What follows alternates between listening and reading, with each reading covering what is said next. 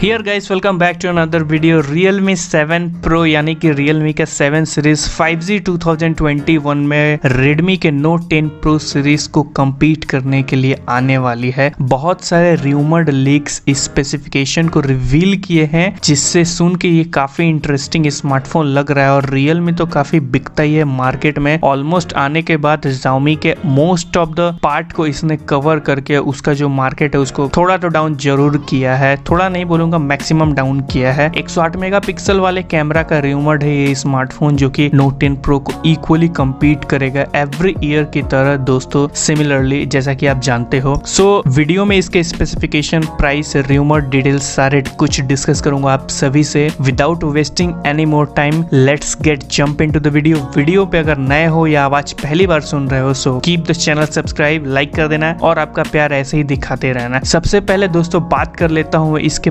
Processor को लेके तो मीडिया टेक के डायमेंसिटी थाउज़ेंड का चिपसेट देखने को मिलेगा, जो कि सबसे कम रेंज में अच्छा प्रोसेसर माना जाता है इन equal to Qualcomm Snapdragon 765G दोनों ही 5G होंगे but performance is equal with the cheapest price so real में उसी के साथ जाएगी। इसके अलावा कैमरा सेक्शन में आते हैं तो क्वाड रियर कैमरा का सेटअप मोस्ट प्रोबेबली देखने को मिलेगा। प्राइमरी रेजोल्यूशन 108 मेगापिक्सल देने वाली है इस बार। बाकी के तीन सेंसर एक अल्ट्रा वाइड एंगल लेंस एक डेप्थ सेंसिंग और एक माइक्रो लेंस होपफुली रहेगा मेरे अकॉर्डिंग इसके अलावा फ्रंट की बात करूँ तो वन प्लस एक्स सीरीज़ को ये कंटिन्यू करते हुए इस बार पॉपअप इन बिल्ड करेगी जो कि मिनिमम 16 मेगापिक्सल का रहेगा। इसके अलावा जो डिस्प्ले है वो 6.65 इंच का एक AMOLED panel in display fingerprint sensor के सपोर्ट के साथ आएगा जो कि बेस्ड होगा 90 हर्ट्ज के रिफ्रेश रेट पे। सो डिस्प्ले की क्वालिटी आप इमेजिन कर सकते हो, काफ़ी बेहतरीन रहने वाली है। इसके अलावा रैम वेरियंट और स्टोरेज में आपको मिनिमम तीन वेरिएंट के साथ ये स्मार्टफ़ोन दिख जाएगा as like every year four sixty four GB six one twenty eight GB and eight two fifty six GB वाला मॉडल जो कि काफ़ी अच्छी बात है दोस्तों Realme 7 की तरफ़ से।